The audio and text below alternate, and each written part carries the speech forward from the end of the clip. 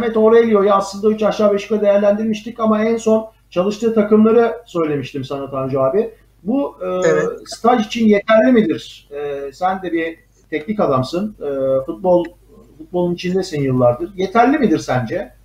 Ama e, çalıştığı takımlara baktığımız zaman gerçekten başarılı. Yani iyi takımlarda çalıştırmış. Başarı anlamda demiyorum. Pardon. Yani orada çalıştırıyor. Yani Kasımpaşa var, Göztepe var, Çorum var, milli takım var.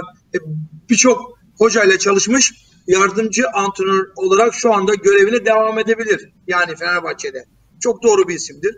Görev yapmıştır. Formada terini akıtmıştır. Çimlerde e, sakatlanmıştır. Saygı duymak lazım. Doğru bir karardır. Ali Koç'u kutluyorum bu konuda.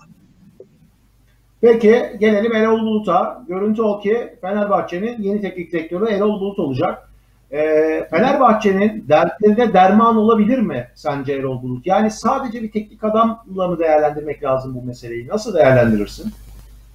Ya şimdi Haluk'cum ben iki hafta veya iki program öncesinde de Erol Bulut'u gündeme getirdik ve sohbetini yaptık. Dedim ki yani bu baskıyı kaldırabilecek tecrübeye sahip değil.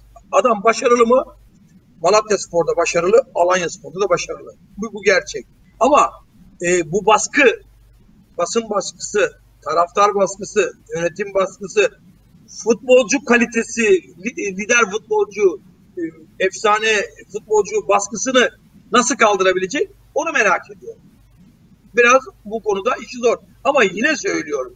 Yine üstüne basarak söylüyorum. Devamlı söyleyeceğim. Fenerbahçe'de sorun teknik adam değil ki.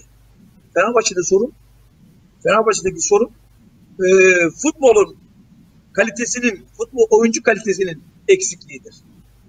Oyuncuların performansları bugüne kadar verdikleri ortada diyorum. Her zaman olduğu gibi.